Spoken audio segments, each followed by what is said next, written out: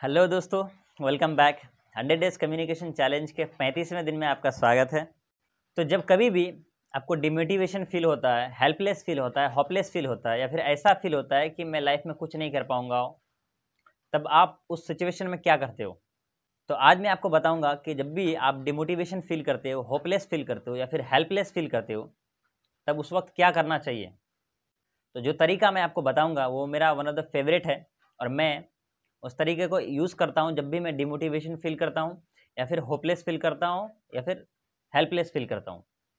तो जब भी आपको डिमोटिवेशन फील हो होपलेस फील हो हेल्पलेस फील हो, या फिर ऐसा लगे कि मैं कुछ नहीं कर सकता हूँ, मेरे अंदर इतनी शक्ति नहीं है, इतनी विल पावर नहीं है, मेरे अंदर इतना मोटिवेशन नहीं है कि मैं कुछ कर सकूँ, तब आप सबसे पहले एक पेन और पेपर लें और जो भी आप फील कर रहे हैं, उसको सेम लिखें। क्योंकि जो आपके अंदर नेगेटिव इमोशंस भरा पड़ा है सबसे पहले तो जब आप पेन और पेपर पे उसको लिखेंगे तो वो सारा नेगेटिव इमोशन बाहर निकल जाएगा आपसे और आप फ्री हो जाओगे। उसके बाद एक दूसरे पेज में आप उन सारी चीज़ों को लिखें जिससे, जिसके लिए आप शुक्रगुजार हो। जैसे कि मैं ज़िंदा हूँ, मैं सांस ले रहा हूँ। जी हाँ ये बेसिक चीज़ें जब आप लिखेंगे तो आप ऊपर वाले के शुक्रगुजार बनेंगे और आपको अच्छा फील होगा। क्योंकि सबसे बड़ा वरदान ही तो आपकी ज़िंदगी है। जो ऊपर वाले की ब्लेसिंग्स है, वो आपकी लाइफ है। आपकी लाइफ ही नहीं बचेगी तो ये डिमोटिवेशन होपलेस हेल्पलेस का क्या करेंगे आप? तो सबसे पहले आप इस बात को लिखें कि मैं ज़िंदा हूँ।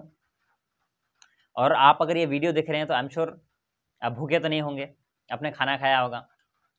और आप इतने काबिल होंगे और आपके पास इतनी होगी दौलत कि आप तीन वक्त का खाना आराम से खा सकें। तो आप इन बेसिक चीज़ों को लिखें उस पर जिन जिन चीज़ों के लिए शुक्रगुजार हैं, आपके पास हाथ है, पैर है, आँखें हैं, कान है, दिमाग है तो आप जितनी भी सारी बेसिक चीज़ें हैं, उन सब चीज़ों को लिखेंगे।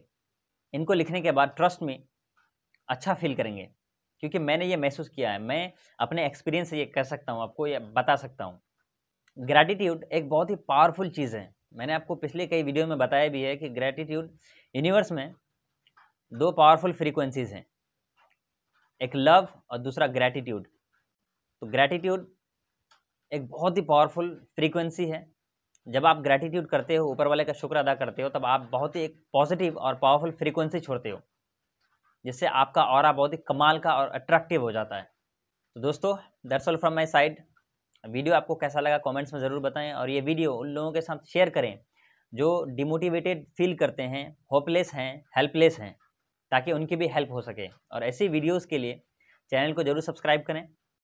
मेरे इस जर्नी को सपोर्ट करने के लिए और वीडियो को लास्ट तक देखने के लिए। Thank you so much